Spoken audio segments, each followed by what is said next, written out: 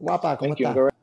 Estoy muy bien. Muchísimas gracias por el tiempo. Thank you so much for the time. And I'm going to do this quickly because I feel that I'm going to turn into Chris Farley and just keep saying how awesome you guys are and not ask you any questions. That's very So kind, let, thank you. let me That get to great. it. Uh, I know you could. I mean, but let, I have a job to do, so let's do it. Uh, Lin Manuel, you sort of this captures a moment in time in your history of the show, and you went off and had other creative endeavors, including having another crack at it in Puerto Rico. Uh, do you feel that having that wealth of experience gave you a different perspective when you look at the movie that we're going to see on Disney Plus? Absolutely. I watch it with double vision. Uh, I watch it with a weird pair of prescription glasses on because I am watching the incredible work of this company and the ensemble, and I'm seeing details I could not possibly see from performing in the show. But I'm also remembering, oh, in that part of Wait for It, I'm standing stage left and making Renee laugh because she has to turn and face uh, the house left. Um, in that moment in Act Two is my only chance where I get to catch up with David because it's our only offstage moment together uh, in room where it happens, where we're fighting on stage and then we come off stage and go, oh, hey, what's going on with this? And what's, oh, okay, gotta go. Um, so I have this incredible double vision. And so when I watch the movie, I really just try to appreciate the things that don't concern me the incredible ensemble work, the work that's happening on the second level, which I only get to visit once the whole show. Um, and uh, and it, it, I'm incredibly grateful that it exists. All right, so thank you for that, Mr. Kail. Let me ask you this: I'm endl- endlessly fascinated by what you call cinematic capture of this of the, of the play.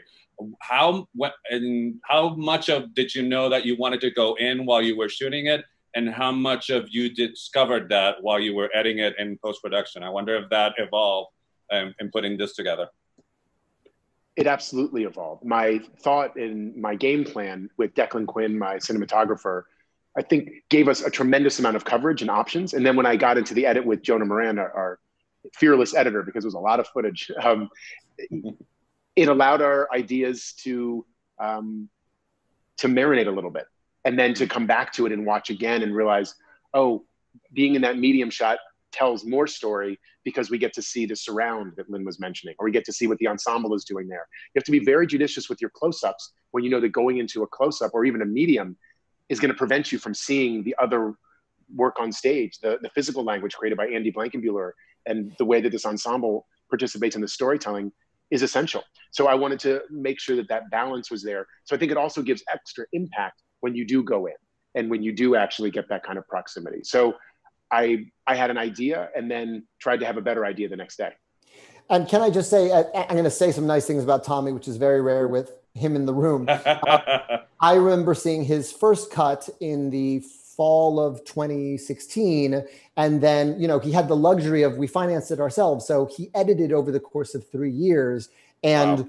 those swings of when we go, when we break the proscenium, when we go closer, I think got bolder um, over the course of that edit. I think the first edit was um, was amazing, and and he just got bolder as he grew in confidence as as a filmmaker. And um, it's it's not a it's not a bird's eye view; it's a God's eye view because he's kind of everywhere you need him to be. So and, let me and what ask Lin's you- talking about is, is the fidelity, right? Like I wanted to honor what Lin had made and our company had made. And so you want to capture and then you figure out where you can be more ambitious. Cool. Can't, cannot wait to see it. Let me ask you this, Lin. What's the first thing that pops into your head in, about your Hamilton run here in Puerto Rico, which is where I got to see the show, which I'm eternally grateful for you doing that. So, gracias de nuevo. Gracias, gracias a ustedes. Uh, for me, the it's honestly the moment when I step on stage uh, because in the movie there's not a sound. Uh, it's just Alexander Hamilton in the silence. It's one of the moments we got in close up without an audience. And what I remember, what I will take with me forever, is the ovations. We I can't even talk about it without crying. Puñeta.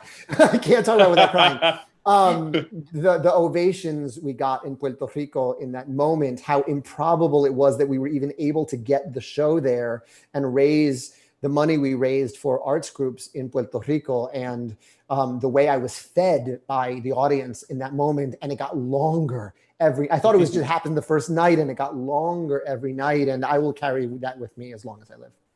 So, muchísimas gracias. My time's up. Eh, y lo último que te voy a decir es que yo también tengo un hijo, Sebastián, que está contando los días para poder ver esta Oh, sí, película. ¿cuántos años Eh, tiene?